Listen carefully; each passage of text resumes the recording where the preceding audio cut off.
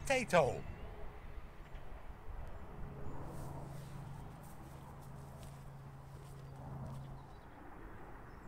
That's right folks, we've got potatoes sprouting up.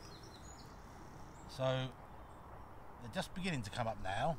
Um, it's the 29th of April.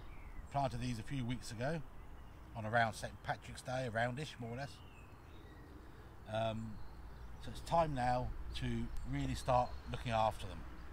I'm going to top them up with soil, some sort of growing medium. Um, try and get some homemade compost in those ones and some uh, shop bought compost on top of these. That'll just protect these emerging shoots from the uh, potential of late frost. We could still get a frost for the next couple of weeks or so. It won't really do them any harm to get a little bit of frost nip, but you know, we've got the soil, we may as well do it. So yeah, let's do that. And uh, now our main key is to really keep them watered, because as they start to grow up, the potatoes are forming, and they really need a nice consistent moisture to get a decent crop. Right, let's crack on with that.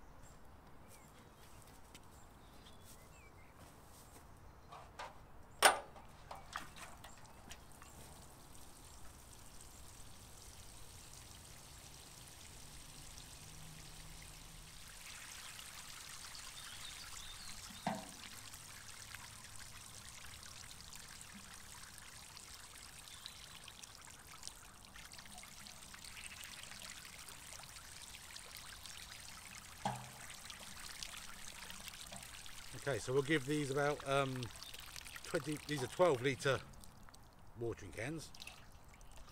We'll give them about 24 litres today each. Sounds like a lot, but it really won't last too long.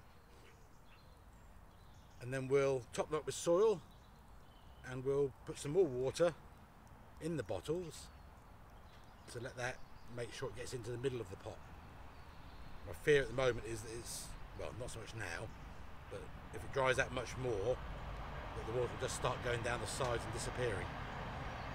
We don't want that.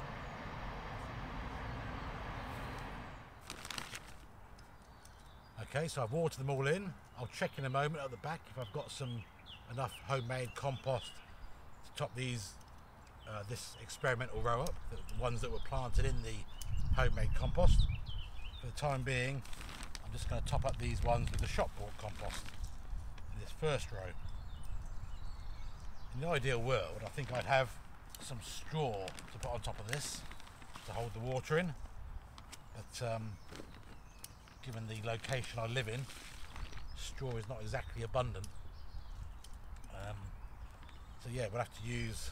I do have some chopped up uh, old raspberry canes over there, which I might just put as a mulch in a couple of buckets to see how it works on the uh, rows nearer the camera there, nearer you. That's just my other spare potatoes that I grew. Only these six are the experimental ones. So, also what I think I'll do is try and make a playlist on the channel and on the Facebook group so that you can specifically follow one thing rather than perhaps if you just visit the channel you fluctuate between sweet corn and garlic and everything else. So anyway, bear with me. I'll finish topping these up and we'll put some water directly in the bottles to make sure the middles are nice and wet.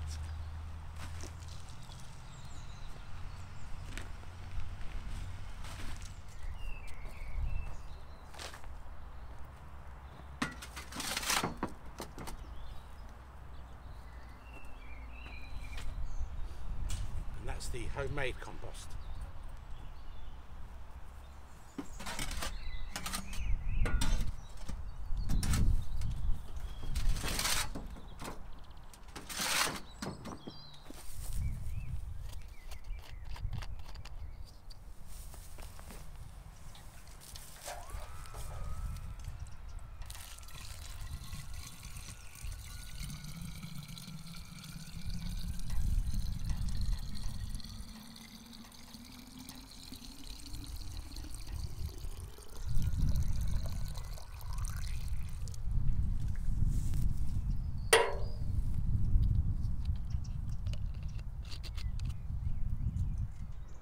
Okay, so I'll carry on filling these bottles up. I hope you've enjoyed the update on the potato experiment. Be sure to join the My Allotment Facebook group and subscribe to uh, this channel if you like this sort of thing. Thanks very much for watching. See you next time. Bye bye.